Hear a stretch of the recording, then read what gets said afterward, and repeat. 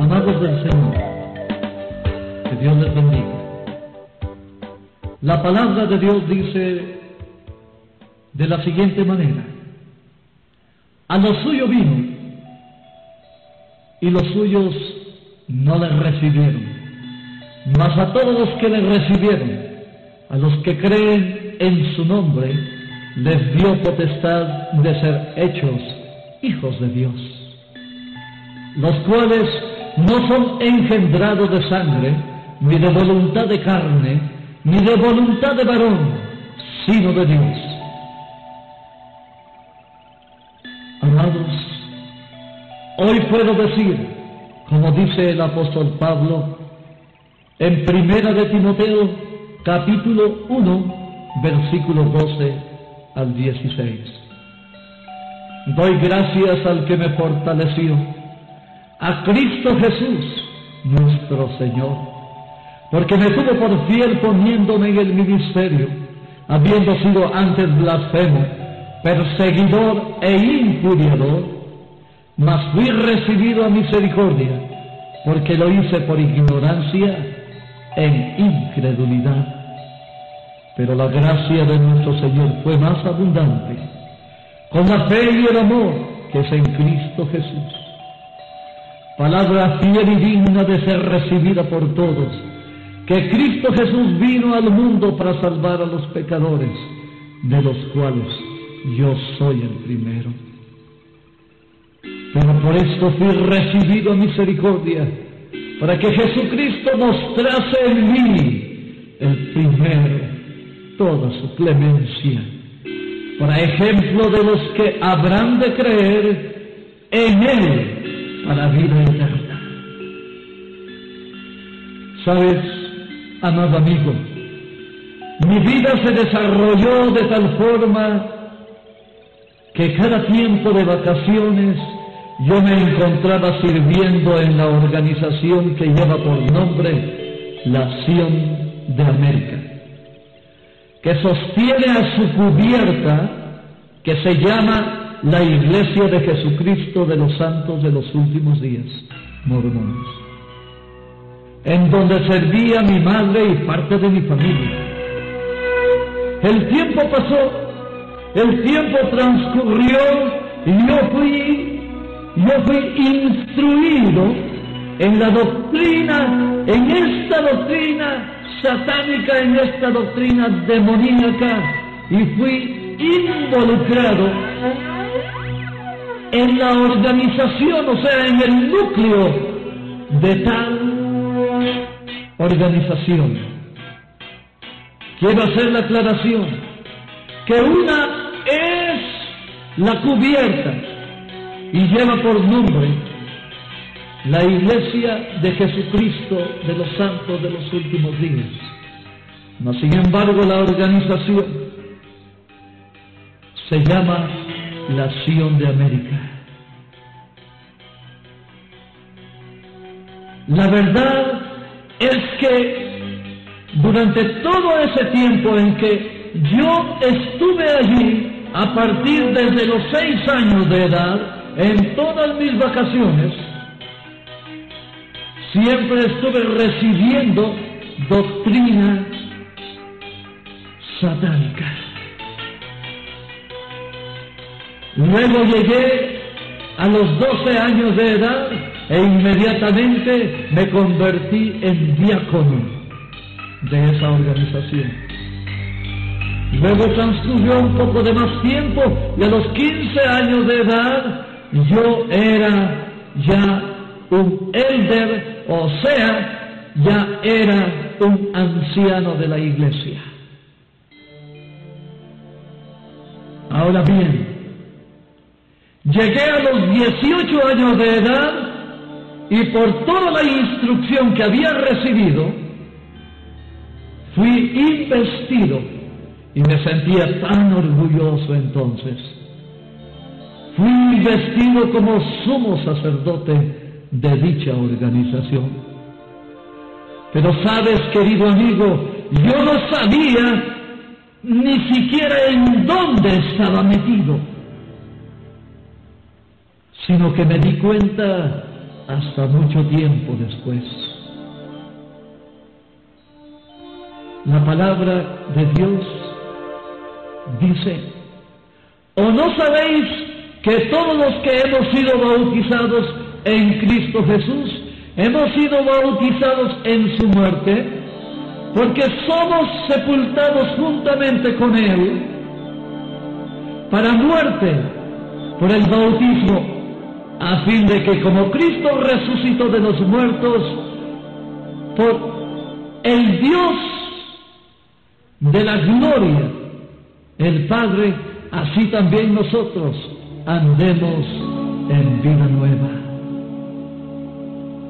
Mas sin embargo, dentro de la organización se practicaba un bautismo que lleva por nombre el bautismo por los muertos. Pero yo creo que tú querrás saber en qué consiste el bautismo por los muertos, ya que todavía se sigue practicando. Yo como sumo sacerdote, casi todos los días bautizaba aproximadamente entre 60 a 120 personas en el bautismo por los muertos. ¿Cómo sucedía esto?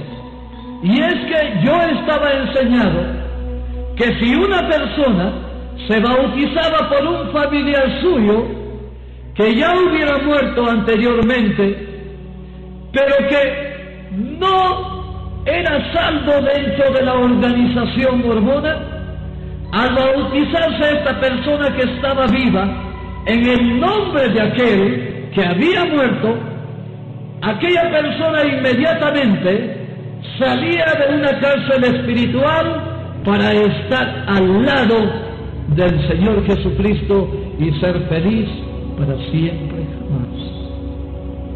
Doctrina, una doctrina totalmente satánica. Una doctrina totalmente antibíblica una doctrina que realmente no tiene absolutamente nada que ver con el plan de Dios para el hombre. Ahora bien, también yo aprendí y yo creía que el Dios que regía la vida de los habitantes de este planeta era el dios Adán, el que fuera esposo de Eva.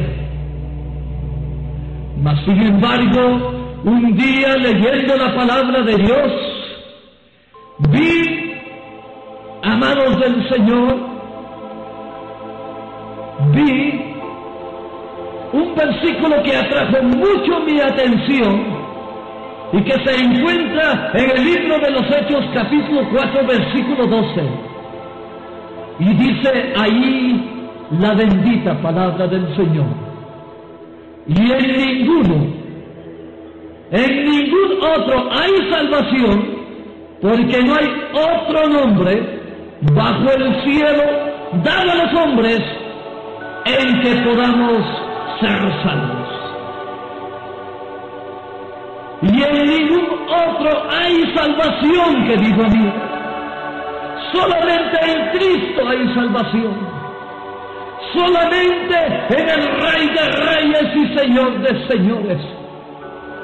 Solamente en aquel que ofrendó su vida en la cruz del Calvario para comprarnos a un precio demasiado alto, para comprarnos con su misma preciosa sangre para que hoy día podamos gozar de la salvación y de la vida eterna en el futuro, en la gloria misma, juntamente con el Padre, el Hijo y el Espíritu Santo, allá en el reino de los cielos, juntamente con Dios.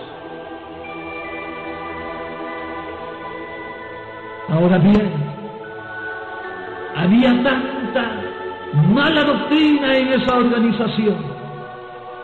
Y todavía no llego a lo más tremendo de todo.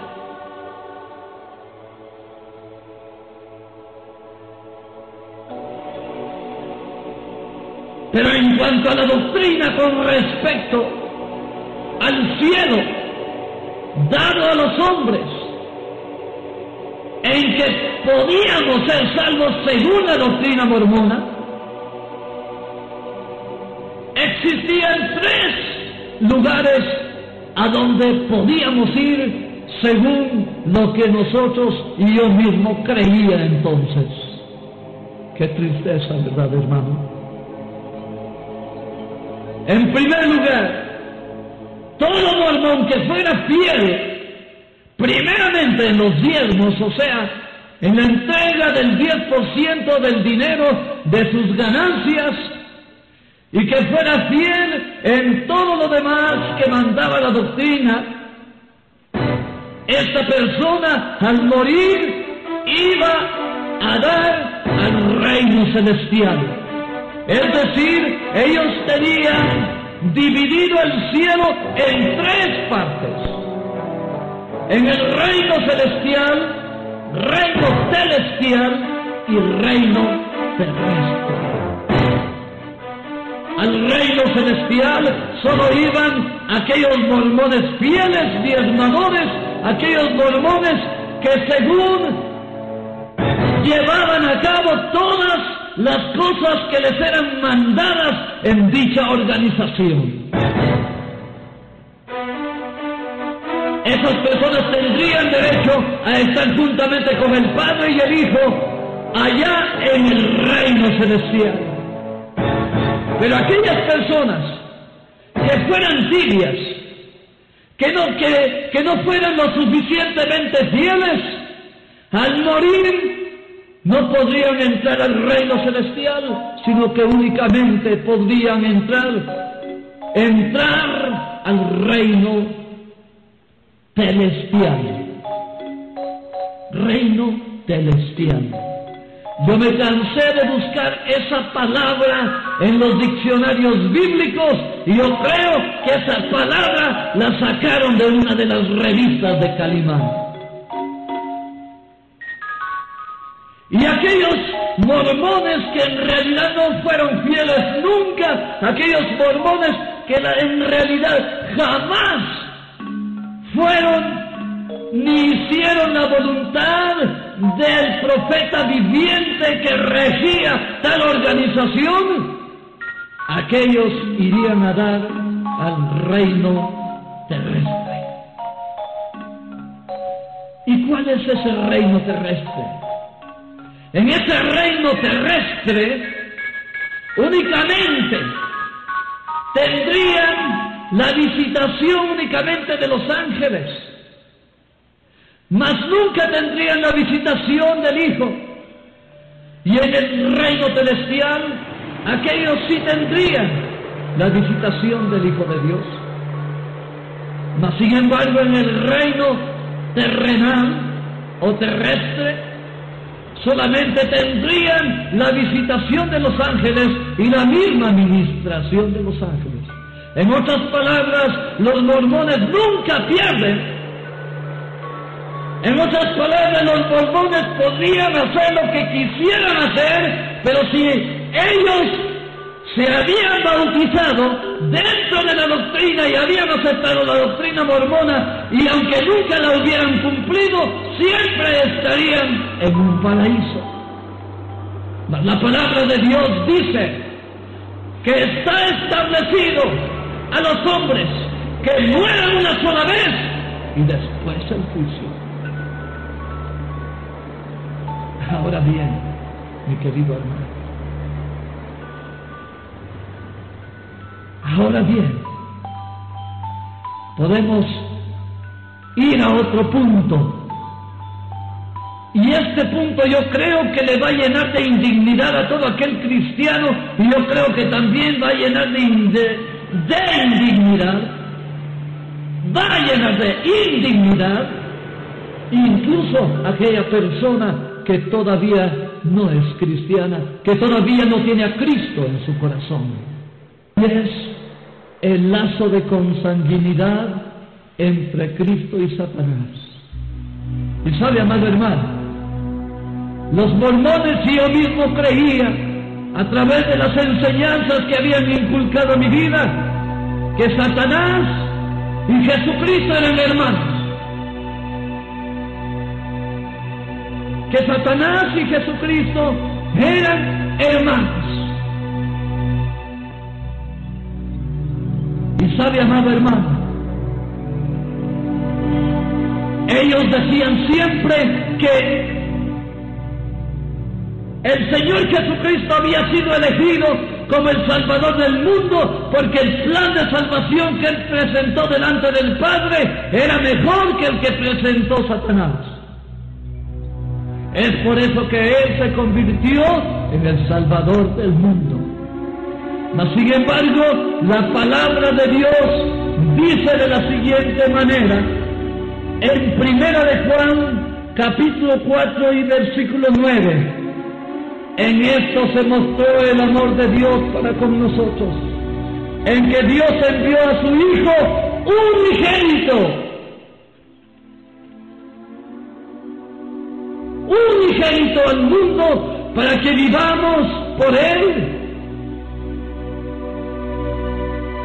Vino entonces uno de los grandes chascos que uno se puede llevar al estar en una o en un lugar equivocado. Cuando comencé a leer la palabra de Dios y el Señor a través del Espíritu Santo comenzó a hacer la obra en mi vida. Y cuando el Señor comenzó a hacer la obra en mi vida, entonces yo quiero seguirle narrando y más adelante contarle cómo ocurrió mi salvación. Y quiero hablarles acerca de otro de sus puntos doctrinales y era el pacto que ellos mantenían con el Ku Klux Klan y el Vaticano. Ellos mantenían un pacto muy, pero muy estrecho entre el Ku Klux Klan y el Vaticano. Ellos estaban de acuerdo y estuvieron de acuerdo con la muerte del doctor Martin Luther King. Para ellos eso fue una victoria. Para ellos eso fue una gran victoria porque por naturaleza los borbones han sido siempre racistas. y su relación con el Vaticano también. Ellos enviaban aproximadamente cerca de 7 millones de dólares cada seis meses al Vaticano en señal de buena voluntad. Y dice la palabra de Dios en Apocalipsis capítulo 17 versículo 1 y 2. Vino entonces uno de los siete ángeles que tenían las siete copas y habló conmigo diciéndome, ven acá y te mostraré la sentencia contra la gran ramera, la que está sentada sobre muchas aguas, con la cual han fornicado los reyes de la tierra y los moradores de la tierra se han embriagado con el vino de su fornicación. En la organización mormona existe un hombre, el cual es llamado primer presidente y profeta viviente de la organización, el cual ellos creen y también yo creía que recibía, que recibía mensajes directos del mismo Dios y que tenía una relación estrecha con Dios y que hablaba personalmente con Dios, lo cual es una mentira totalmente del diablo. Porque la palabra misma de Dios me dice, no podéis beber de la copa del Señor y la copa de los demonios. No podéis participar de la mesa del Señor y de la mesa de los demonios. ¿Sabes por qué? Yo, ¿sabes por qué te estoy narrando este versículo de la palabra de Dios? ¿Sabes por qué estoy narrando este versículo de la palabra de Dios? Porque ellos y yo mismo le rendíamos adoración a Cristo y también le rendíamos adoración a Satanás. Por eso en Primera de Corintios, capítulo 10 y versículo 21 dice, no podéis beber la copa del Señor y la copa de los demonios. No podéis participar de la mesa del Señor y de la mesa de los demonios. Su doctrina del cielo y la salvación también era algo diabólico. Porque ¿cómo es posible? ¿Cómo es posible que al creer ellos en todas aquellas cosas, la indignación que puede haber a los ojos de Dios, la abominación que hay a los ojos de Dios, al ver, al escuchar, al, al estar presente y viendo tales cosas, la indignación misma de Dios.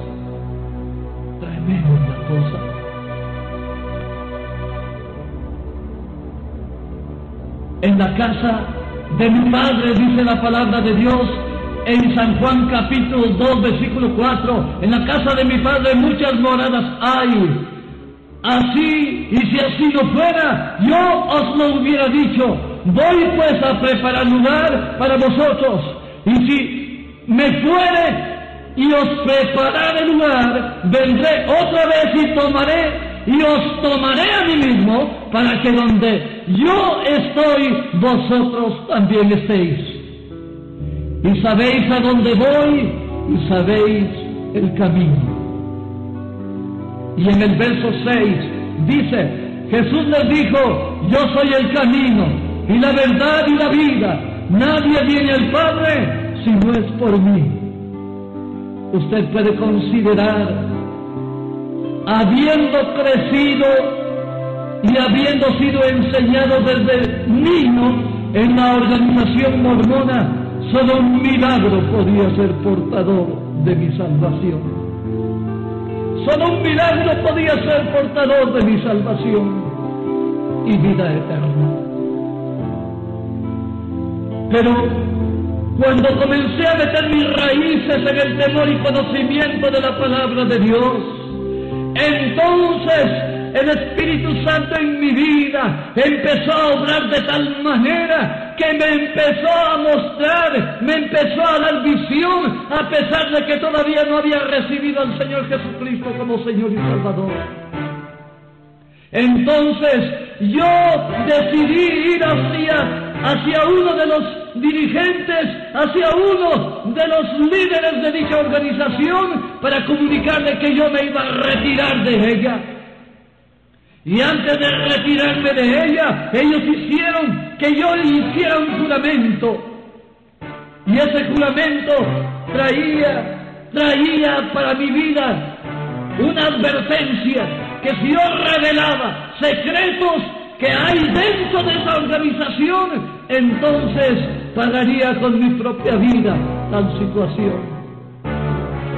Pero sabes hermano, pero sabes amigo, eso a mí ya no me interesaba. Porque el Señor me había mostrado a través de su palabra la verdad y el poder de Dios. Pero sabes algo muy importante.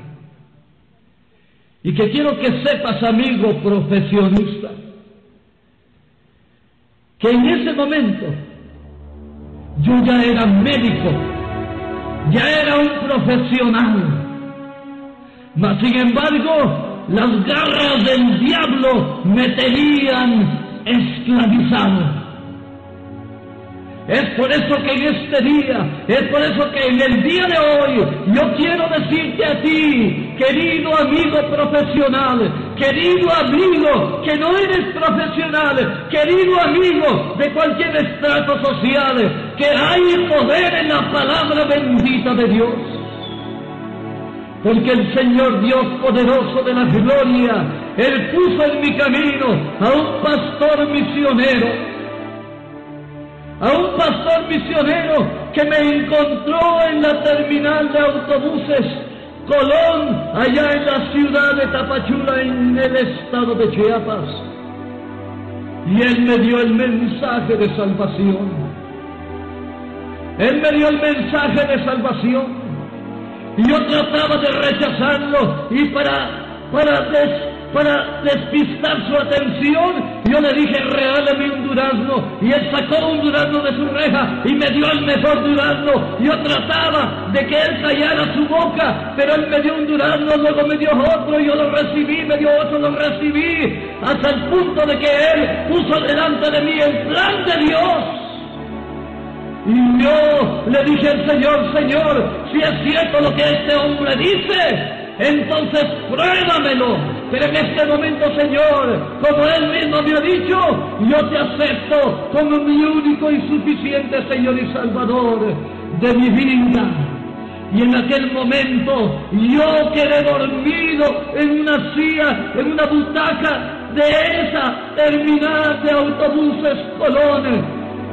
Y esa noche fue el sueño más hermoso que he vivido en mi vida porque después de ese día el Señor me llamó al ministerio y hoy soy ministro del Señor Jesucristo para honra y gloria de su nombre. Y hoy predico el Evangelio y hoy predico su bendita palabra. Y yo te digo a ti, querido amigo, que tú también puedes hacerlo, que tú también puedes recibir a Cristo Jesús en tu vida. Tu amigo profesional, tu médico, tu abogado, tu ingeniero, tú dices licenciado en economía, tú profesionista, tú puedes recibir a Cristo en tu corazón. Solamente abre tu vida y tu corazón y dile al Señor, Señor, soy pecador, soy pecador y en este día me arrepiento. Y tú también, amigo profesionista, tú también el Señor puede sacarte de cualquier religión en donde tú estés en este momento practicando doctrinas falsas y doctrinas de demonios. El Señor da testimonio a través de su Espíritu Santo. El Señor da testimonio a través de su palabra. No es necesario no es necesario que se presente delante de ti el mismo Señor Jesucristo para explicarte realmente lo que debes hacer. Es que el Señor Jesucristo tiene extendidas sus manos hacia ti. Y te está diciendo, ven, ven, te está diciendo, ven, porque te amo. Hay muchos muchos, pero muchos hombres y mujeres, grandes profesionistas. Yo solamente soy un médico y me encontraba esclavizada en una doctrina satánica, en una doctrina errónea. Y hoy en día hay muchas personas, hay muchos hombres y mujeres profesionistas que también se encuentran de esa manera pero Cristo puede sacarte de ahí y hacerte una criatura nueva. Solamente abre tu vida, solamente abre tu corazón como tu Señor y Salvador y experimenta lo que yo he experimentado y lo que estoy experimentando en este momento, que es la paz del Señor, el gozo del Señor, la unción del Señor Jesucristo en mi propia vida. Oh amado, te lo digo, te lo afirmo y te lo testifico en el nombre bendito de Jesús de Nazaret. Que Dios te bendiga, amado amigo. Se despide de ti, tu servidor, hermano y amigo, doctor Edgar del Valle. Que Dios te bendiga grandemente